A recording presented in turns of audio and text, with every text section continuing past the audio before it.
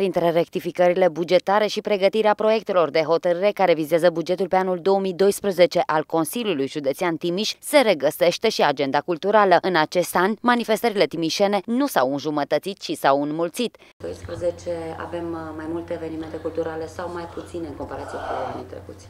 Uh, dacă o iau pe total, numărul de acțiuni a crescut. Trebuie să spunem că 2011 s-a încheiat cu un grad de finanțare mult mai mare pe acțiune decât în anii trecuți, ba mai mult numărul de acțiuni a trecut de 3000.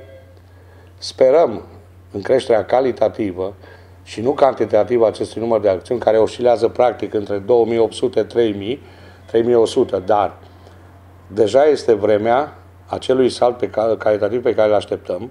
Pe lângă numărul mare de manifestări realizate în colaborare cu regiunea DKMT sau asociațiile non-guvernamentale și consiliile locale au adus finanțări, însă un interes deosebit l-a avut învățământul preuniversitar. Consiliul Județean Timiș a rămas printre singurii finanțatori la acest nivel. Dacă prin agenda am inițiat activități culturale, de data aceasta există ă, cofinanțări și la nivelul consiliilor locale care practic erau absente în anii trecuți, există cofinanțări și pe Euroregiunea de KMT, numărul de acțiuni cu ONG-urile, suntem printre puțini în țară care avem astfel de acțiuni, și culturale și de altă natură, a crescut, dar important este că a crescut calitatea acestor acțiuni.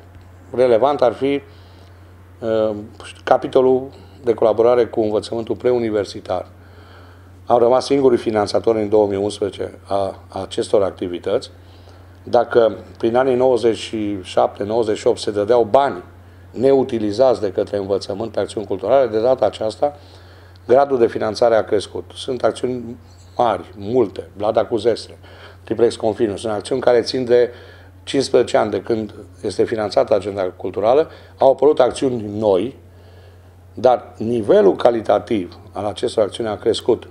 Deși în condițiile de criză agenda manifestărilor culturale din cadrul Consiliului Județean Timiș nu a fost lipsită de buget, așa cum de altfel sperăm să se întâmple și în acest an.